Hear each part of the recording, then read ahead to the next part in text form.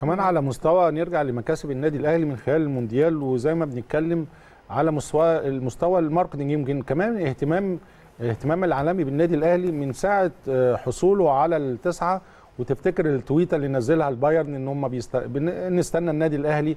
والتوأمة الرائعة كمان بعد ال... بعد البرونزية تهنئة البايرن للنادي الأهلي بيحصلوا على البرونزية. التوأمة ال- على ال social media الشناوي مع مع مانويل نوير بتتكلم لعيبة النادي الأهلي مع لعيبة البايرن. اسم النادي الأهلي اللي اتحط في الفيفا بنتكلم على المستوى التسويقي من خلال انت عارف إحنا بن- النادي الأهلي مؤسسة رياضيه طبعا. كبيرة. انك بتاخد 2.5 مليون دولار غير اللي اللي يمكن اللي خدته في البطولة الأفريقية. فكل ده ال value كل ده مكاسب للنادي الأهلي حتى بعيدا عن الفنيات والخبرات لا إحنا بنتكلم على مؤسسة بتدار بشكل احترافي يعني. يمكن إحنا يا كابتن بدأنا في المكاسب الفنية ودي برضو كانت مهمة. المكاسب اللي حضرتك بتتكلم فيها كتيرة جدا.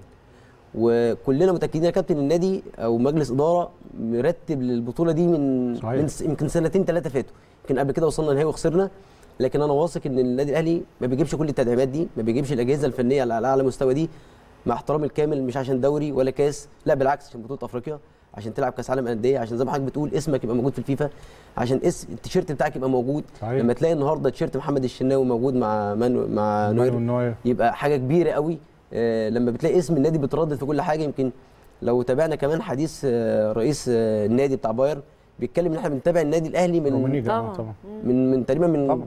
واحترامه الشديد كمان للنادي الأهلي طبعاً. وبتاريخ النادي الأهلي وقيمته فدي كلها مكاسب أكيد آه، ناس كتير تتمنى تكون موجودة مكان النادي الأهلي مفيش شك يعني. طبعا يا كابتن ويمكن ده أنا أنا مش عايز أكبر الموضوع لسبب لأن ده الطبيعي بتاع النادي الأهلي. صحيح. لأن النادي الأهلي زي ما حضرتك بتتكلم ما بيبصش ابدا لل- للمحلي بس أو لا بيبص للمستوى العالمي. تتكلم عن نادي القرن تتكلم من أكتر الأندية في العالم بطولات بينافس ريال مدريد.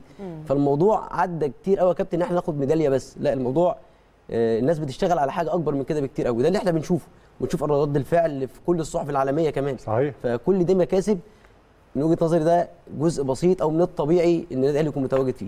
حقيقي.